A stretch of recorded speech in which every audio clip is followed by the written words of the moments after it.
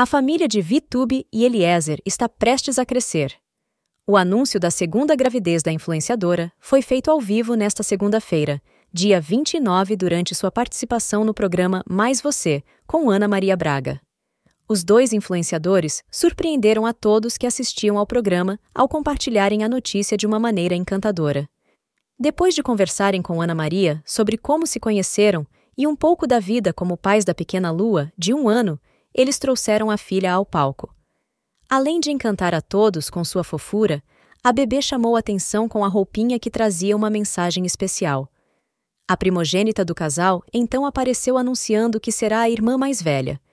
Virtube e Eliezer emocionaram a todos com a novidade e revelaram que ainda não fizeram o exame para saber o sexo do bebê.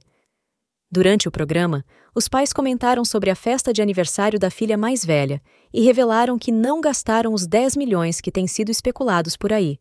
Além disso, descartaram a possibilidade de repetir um evento tão grandioso e afirmaram que o chá revelação do segundo bebê será uma celebração apenas para a família.